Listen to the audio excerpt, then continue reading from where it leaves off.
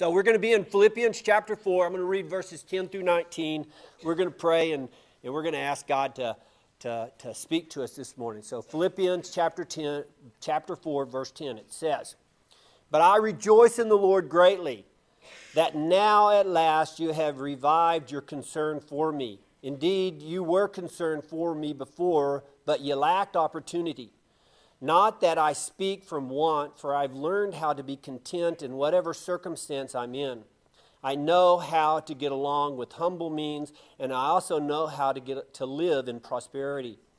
In, in any and every circumstance, I've learned the secret of being filled and going hungry, both of having abundance and suffering need. I can do all things through him who strengthens me. Nevertheless, you have done well to share with me in my affliction. You yourself also know, Philippians, that at the first preaching of the gospel, after I left Macedonia, no other church shared with me in the matter of giving and receiving but you alone. Even in Thessalonica, you sent, uh, you sent a gift more than once for my needs. Not that I seek the gift itself, but I seek for the profit which increases to your account. I have received everything in full, and I have an abundance. I am amply supplied, having received from Epaphroditus what you have sent me a fragrant aroma, an acceptable sacrifice, well pleasing to God. And my God will supply all your needs according to his riches and glory in Christ Jesus. Let's pray. Lord, we, we just thank you for. Uh, we thank you for your grace. And we thank you for your word and how your word is true and how your word convicts, how your word draws, and how your word has brought us all to the place we're at this morning. So, God, we just, uh, just want to say thank you for uh, your goodness. We want to say thank you for your grace. And Lord, we just ask this morning that you would speak to us, that you'd use this morning to bring glory to your name, that you'd use this morning to teach us, to show us, to guide us. So, again, thank you, Lord. We pray in Jesus' name. You know, as we, uh, as we continue the messages on stewardship, I want to I want to briefly define what steward a steward is. Uh, but I, like I said, I want to spend the most of our time this morning talking about contentment because I think contentment and we're going to spend most of our time in Philippians chapter 4. I think contentment's a huge problem that we have, not just in, in the church, but in America. You know, just being content with what we have, being content with who we are. And mainly because Paul, you know, if you think about it, Paul was the steward of the gospel, and the Philippians were stewards of the resources they had that provided Paul the means to do what he was doing. So, Let's go. If you have your Bible, let's turn to Genesis 1 1. Very beginning. I believe that stewardship, I believe the whole idea of stewardship starts from the very beginning. Genesis 1 1 says, In the beginning, God created the heavens and the earth. Created the heavens and the earth. The whole concept of stewardship begins at creation. Creation is a celebration not only in Genesis, but all throughout Scriptures. Psalms 24 1, it says, the earth, the earth is the Lord's and the fullness, and all its fullness, and the world and all those who dwell therein. Psalms 50 12 tells us, If I were hungry, I would not tell you, for the world is mine and all it contains. Psalms 89 11 tells us that the heavens are yours, the earth is your footstool, and the world and all it contains, you have founded them. God is the author, creator, the owner of all things. It's His. We, what we own, we own as stewards, we own as managers. And God has given us these things so that we can manage, so we can take care of these in a way that honors Him, in a way that glorifies His name. And that's, that's how we should see our possessions. And when I say our possessions, I'm talking about our children. I'm talking about not just, I'm not ta- just talking about money today. I'm talking about everything. I'm talking about the world. I'm talking about your life. I'm talking about your marriage. I'm talking about every aspect of your life, everything that you have you're to manage it in a way that honors God. Gifts you have, spiritual gifts you have. We're to, we're to grow in our spiritual gifts, and we're to exercise those spiritual gifts in a manner that, that encourages the body, but it also glorifies God. We're to manage our, our the physical gifts that we have in a, in a way that, that, yeah, they can increase, but it, maybe they increase, but we're to do that in a way that honors God. Sometimes they increase, sometimes they don't. Whether you have a lot, whether you have a little, doesn't matter. You're to manage, you're to use, you're to be a steward in a manner that honors God. I do think we need to be stewards of our spiritual gifts. You know, we read in, in, in Romans 12 and 1 Corinthians 12, you know, prophecy and service and teaching and exhortation. We should, we should grow in our spiritual gifts so the body of, of Christ can grow and the body of Christ can be encouraged. But we're also to be stewards of our possessions. I mean, we're managers. He has loaned these things to us, and He expects us to manage these things in a way that honors His name. This stewardship, again, begins in the garden. And when God gave Adam and Eve dominion over the entire creation, He didn't give them ownership, He gave them dominion.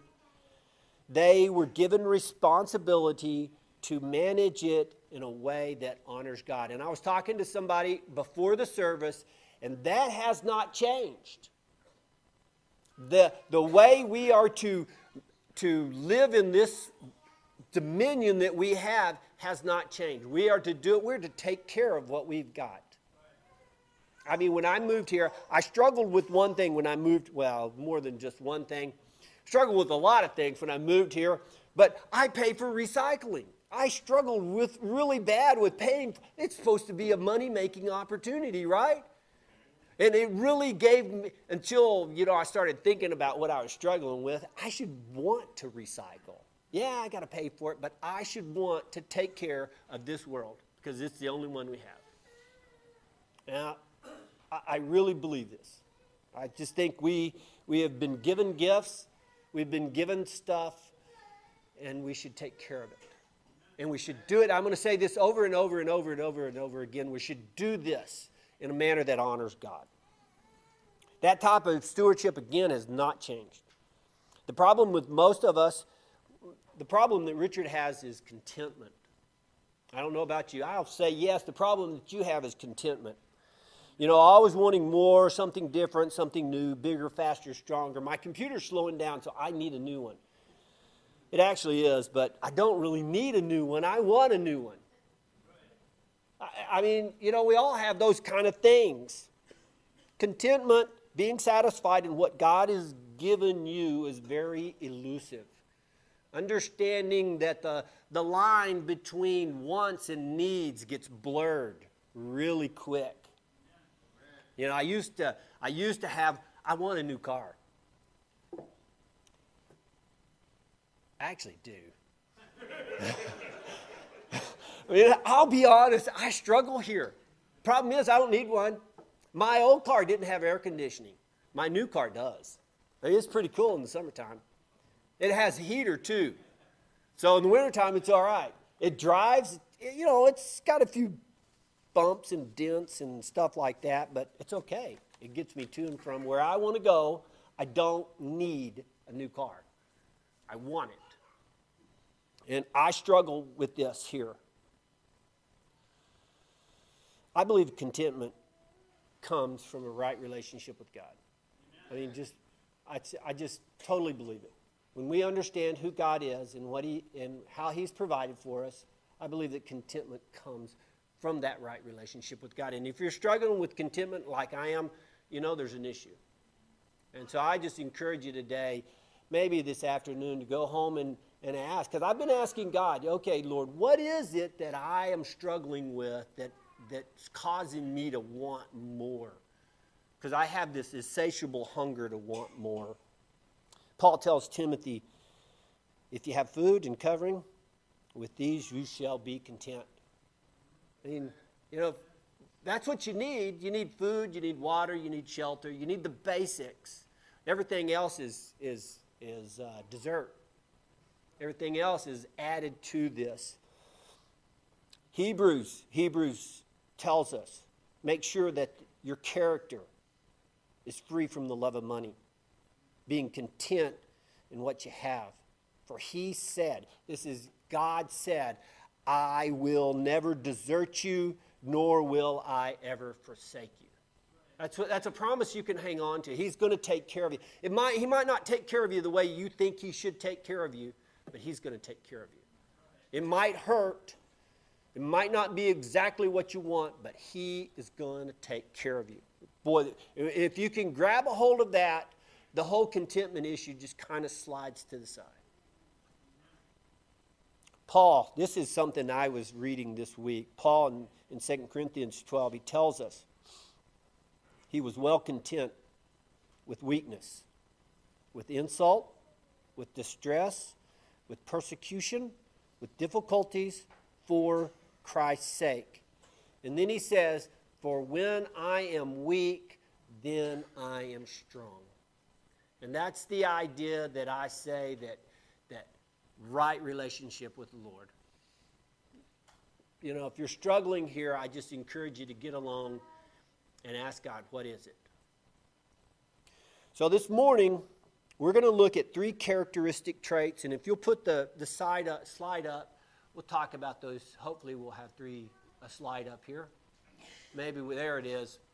Three characteristics of contentment. You know, I, I have to confess again, I was sitting over there thinking, did I spell characteristic right? I mean, if you know me, I can add and subtract most of the time, but I cannot spell uh, to save my life. So, three characteristics of, of contentment. The first one, a content person is confidence in God's providence. Uh, somebody that's content is, is confident that He's going to take care of you, that He's going to provide for you, that He will make sure that you have what you need. A content person is satisfied with little. And lastly, a content person is preoccupied with the well beings of others. And if you'll notice these, one, the first one is kind of Godward oriented. You know, confident in God's provision. Your, your, your mind, your heart is, is looking up towards God's provision. The second one is inward focused you know, dealing with the issues of the heart. Because, you know, out of the abundance of the mouth, the heart speaks. You know, that's, I think it's just a huge thing. When we struggle with this whole idea of contentment, either we don't have a right relationship with Lord, or we don't have something, we have something going on in our heart that's not right. And then the last one is, is a, a preoccupation, or it is an outward focused idea of contentment. So let's look at that at that first one in verse, uh, oops, in verse 10. It says, But I will rejoice in the Lord greatly, now that you have revived your concern for me. Indeed, you were concerned, but you lacked opportunity. And that content person is, is confident in God's providence. For years, years, some years had passed since Paul's ministry in Philippi. And if you remember Philippi, you remember what happened in Philippi. Remember, he, he goes there, he's preaching Christ, and there's this, this girl, she's demon possessed, and she's following him around for several days, irritating Paul, saying, These are servants of the Most High God, speaking of Paul and Silas. These are servants of the Most High God. And finally, Paul gets upset with this young lady, rebukes the demon in this child, and uh, cast it out. And her owners realized that they had lost a source of income. Story goes on, they got upset because they lost their money. Well, they, Paul and Silas were both beaten with rods and thrown into prison. About midnight, earthquake came, and there was a jailer there. There's another person in this, in this story. About midnight, he's in jail. Paul and Silas are singing and praising hymns. An earthquake happens, and, and uh, the jailer thinks that uh, they have escaped, and it was going to cost him his life. And Paul yells at him, No, no, we're here. And the jailer runs up to him and asks him, What must I do to be saved? They're, they all knew why Paul was there. They all understood the reason he was there is because he was preaching Christ. And Paul says to him, Trust in the Lord Jesus. It's exactly what I'd tell you today.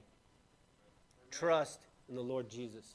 If you're here and you're not believing, you need to ask the question what must you do to be saved?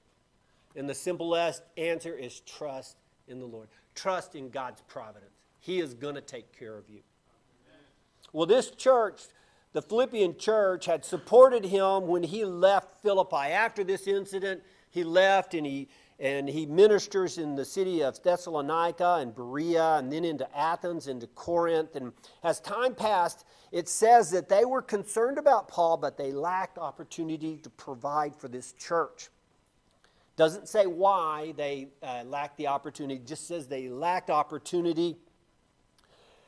Uh, but recently, Epaphroditus arrived bringing with him a generous gift from the church and it says in verse uh, 18 that Paul greatly rejoiced in the Lord greatly. I understand this idea of what Paul's saying. I understand what Paul means when he says he rejoiced greatly. It wasn't because of the gift, the gift was evidence that people cared. The gift was evidence that somebody was praying for him that they cared about his family, they cared about Silas, they cared about this team. You know, when we were when we were overseas, uh, 13 months in a row, 13 months in a row, 13 different individuals gave us large sums of money each month. People I did not know. And just out of the blue, it, it got to the point I was asking Sheila's like, okay, who's it going to be this time? It, seriously, it, it was really neat to see how God was providing for us. Richard rejoiced greatly because of God's provision for him. And I don't know, and I'm telling you this story, I can't tell you how big this is, how huge this is, how encouraging this is to when you're out, you've left your family behind and you're doing stuff and you're way out in a country that nobody speaks English. I can't tell you how encouraging it is. And I think of a, uh, of a young couple that's off in the middle of nowhere. The internet's down. They don't. I mean, it's it's hard. And when you realize somebody cares and somebody's reading your newsletter and somebody's passing your newsletter around, and not only they care, and not only they're giving to you, but they're praying for you, it's greatly encouraging. Greatly encouraging. Showed us two things. We talked a little bit about those two things, but this 13 month period showed, showed me two things. One, people cared. They were praying for us, they were passing our newsletter around. Uh, it could have been word of mouth, but they were praying for us. They were praying for my two year old and my five year old, Amanda and Joshua. They were praying for my wife. They were praying for the ministry we had, and it gave, as I say, it gave me courage to charge the mountain gave me courage to do what God had called me to do. And as a result, a lot of people were saved. 11 churches were started, four schools in the short time we were there. Just was awesome ministry, awesome time. And it's all because people cared about us. And I knew it. Well, the other thing is, it showed me that God was going to take care of me. He lined up 13 different individuals in 13 months and He provided for me, for my family. Paul greatly rejoiced. Richard greatly rejoiced. And again, telling the story here this morning, I can't, I can't tell you how big it was, how much of a, a, a faith builder it was at the time. But it's just huge. And Paul, he's, he's there in prison in Rome and now he's, he's been amply supplied. It's just a faith builder. Paul's attitude reflects his confidence in God's provision, in his sovereign providence, that God is going to take care of him. He was certain that God, in due time, would arrange his circumstances to meet his needs. And that is true for us today. In his due time, he will arrange your circumstances to take care of your needs. What you need. It might not look the way you think it's going to be, but it'll be exactly what God has for you and you need. I, I, I just truly believe this. You know, the, the problem with this, those who try to control it, manipulate it, it, it might happen the way you want it to happen. Usually it falls apart. Usually it doesn't work that way. And usually you can tell. I mean, when you're waiting on God's providence and when you see His hand, it's like, wow, I didn't do anything to make that happen. I mean, that it just shows up. And, but when you're manipulating and trying it, you're usually exhausted, you know, when it does happen. Confident trust in God's provision, I believe, is, is foundational to contentment. You know, again, I'm going to say this. If you're struggling with contentment, if you're struggling with the whole idea of being satisfied, I just encourage you are you, are you trusting in God's providence? Are you trusting in yourself? You know, there's, there's, a, there's a disconnect somewhere. And, and we're going to talk about, I think this is a huge issue we have in America. Well, let's go on. Let's talk about uh, a content person is satisfied with little. This is verse 11 and 12. It says, Not that I speak from want, for I've learned to be content in whatever circumstance I'm in. I know how to get along with, uh, with humble means, and I also know how to live in prosperity. In every, in any and every circumstance, I've learned the secret of being filled and going hungry, both of having abundance and suffering need. It says here in this passage, it says he learned to be content in whatever he did. You don't learn contentment by reading a book. You learn contentment by the experiences you go through. He was living, he'd been in prison. He was in prison in Rome, uh, living in a small apartment, chained to a soldier, existing on a, a meager diet. And if you remember, he's writing to the Philippian church. And the whole Philippian church remembers the incident. They, I'm sure that some of those in the church remember him being beaten with rods. I'm sure they remember him being thrown in, in, in jail. They were, some of them were probably there. So this whole, I, this whole story and Paul's story about contentment has weight with these guys. And none of that, his situation, none of it affected his contentment because he was satisfied with what he had. His contentment was not affected by his physical shortage. True contentment, I truly believe this, comes from God. And it enables us to be satisfied in the middle of problems. And, you know, this is unthinkable in our society today. The U.S. is probably the wealthiest country in the world, and I would probably add, I don't know this for sure, it's probably the most discontent. I mean, it is. We've got more stuff. Uh, and adding to this contentment, again, is the blurring of the lines between wants and needs.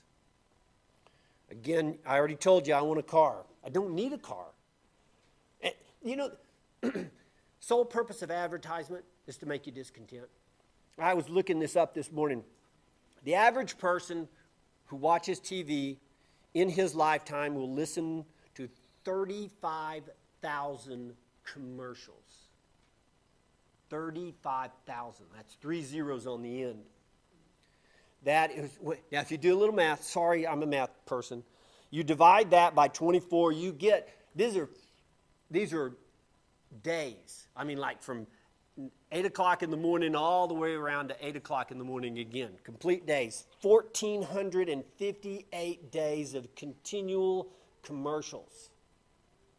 Every, everybody, you know, this is the average person. Now, again, a math person, some of us are above average, aren't we? So that means we've listened to a few more, and some of us, now in this, this case, it's okay to be below average because you haven't listened to so many commercials. Now, you do a little bit more math. This is four years of continual advertisement. And the sole purpose of advertisement is to make you discontent so you'll buy the products they want you to sell. or, their, or the products that they're selling. Four years of your life is spent watching commercials. Average person. Again, some of you are above average, some of you are below average. And Paul knew that the chief end of man was not to get more stuff. And I will be the first to tell you I like stuff, I like new stuff. I think stuff's cool. I, I really do. But the chief end of man is not to get more stuff, it's to glorify God. Chief end of man is to glorify God and to enjoy Him, uh, and to enjoy Him forever. And because of that, because he knew he was satisfied with the little. I got a question. You know, if we have food and covering, with that we'll be content. He learned by experience. He learned to live above his circumstances. I, I think this is a huge question for us to learn today. I've got a question for you. What are you chasing? What are you chasing after? I mean, real simple. What are you chasing after? Are you chasing after the things of God or are you chasing after the things of the world? You, you got to ask this question.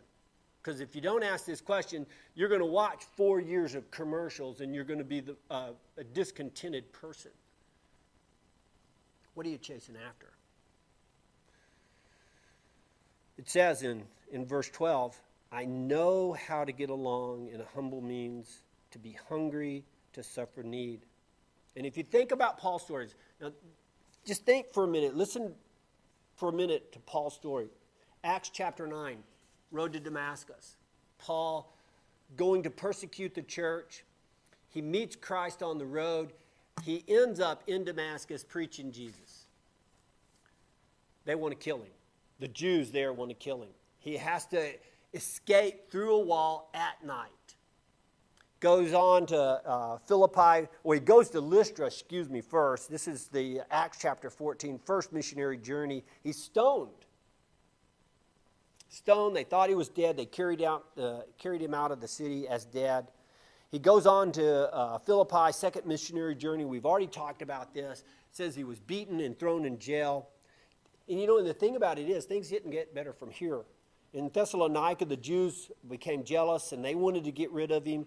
He goes on to uh, uh, Berea. They chase him to Berea. Things don't go better there.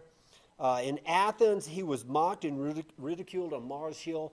But in all of this, in all of the problems that he was having, he was still preaching Christ. He was still pointing people to Christ. He was content with who he was, and he was content with what he had. Still preached Christ crucified. We could read in 2 Corinthians 11 about his whole life. It says in one, one verse in here, it says five times he received from the Jews 39 lashes. Five times. That's 195 lashes. He was beaten three times. He was stoned. He was shipwrecked three times. He spent a night and a day in the deep. And in all his troubles and in all his, his, uh, afflictions, he still was content and he still preached Christ crucified. Paul learned the secret of being content.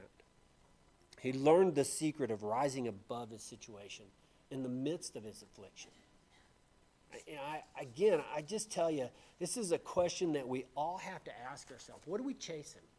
What are we looking at? What do we want? What are we trying to get? Yeah, I, I can promise you, once you buy that new toy, whatever it is, a couple of days later, you're going to want a different one. You, you are. You'll be content. You'll like it for a while, but then you'll think, golly, I wish I would have got one with the radio that does this and, and the seats that warm and, you know, and I wish I would have done this. And you're never satisfied because you're watching all these commercials that make you discontent. It's a problem of the heart. Well, let's go on. A content person is preoccupied with the well being of others. This is verses 13 through 19. It says, I can do all things through him who strengthens us. Nevertheless, you have done well to share with my afflictions. For you yourself know, Philippians, that at the first preaching of the gospel, after I left Macedonia, no other church shared with me in the matter of giving and receiving but you alone. For even in Thessalonica, you sent a gift for me more than once for my needs. Not that I seek the gift itself, but I seek for profit, which increases to your account. But I have received everything in full and have an abundance. I am amply supplied, having received from Epaphroditus what you have sent a fragrant aroma, an acceptable sacrifice, well pleasing to God, and my God will supply all your needs according to his riches and glory. You know, in these final few, few verses, Paul was concerned for others. He's looking for their well being. And, and those who live only for themselves, I, I you're always going to be wanting more. I don't, I don't think you'll ever be content. You might be content momentarily, but you're always looking for the next thing. You're always wanting the next thing. And, again, I'm going to tell you contentment comes with a right relationship with the Lord only with a right relationship with the Lord. You understand who you are and you understand God's providence. You understand that He's going to take care of you. And once you figure that out, once you answer that question, everything else, I would like to say everything else kind of falls in line. It, it does, but you have to fall in step with it. it, it you just do. And he also exhorted them, and if you look at this, he also exhorted them. He, he tells the Philippians, do nothing out of selfish or empty conceit, but with humility in mind, regard one another as more important than yourself. Do not merely look out for your own personal interests, but also for the interests of others. See, I, I, I really believe when you start taking care of others, when you, when you reach out when you reach out and you minister to other people and, and you have a hurt, I believe God reaches in and touches the hurt in your own heart. And this is one of the things he's telling you. Do not be, uh, do nothing from selfish or empty conceit. He also tells the Philippians in verse 5, he says, Have this attitude in you, which was also in Christ Jesus.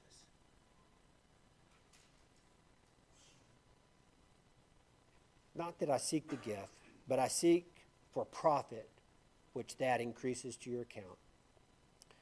Their, their gift brought Paul joy, not because of personal benefit, but because of spiritual benefit, spiritual benefit to them.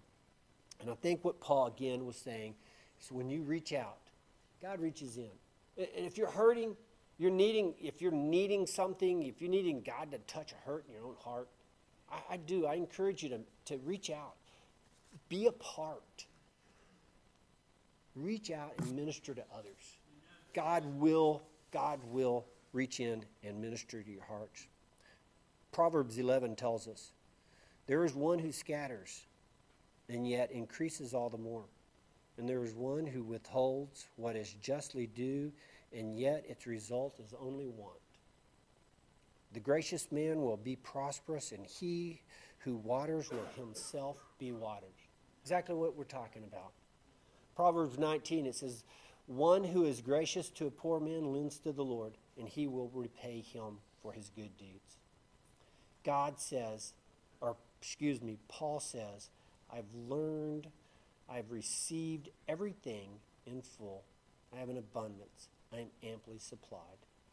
The, the Philippians had sacrificially given their earthly possessions to support God's, to, pursue, to support Paul in his pursuits.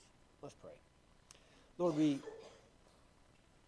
God, we just thank you. Uh, we thank you for this day. We thank you, God, that we can, we can trust you. And we can put our hope in you. And I pray for my brothers and sisters this morning that we would do just that. Uh, Lord, in, in not just our physical gifts that we have, but even in the spiritual gifts that we have, in, in all aspects of our life, God, that we would put our hope in you, that we would put our trust in you, God, and that we would, as Paul says, that we would learn contentment, that we would learn to, to walk above our means, to learn to walk above our circumstances and all that's going on around us, and to do it in a manner that honors you. Uh, so, Lord, again, we thank you for this day. Uh, Lord, again, we thank you for your grace. We pray in Jesus' name.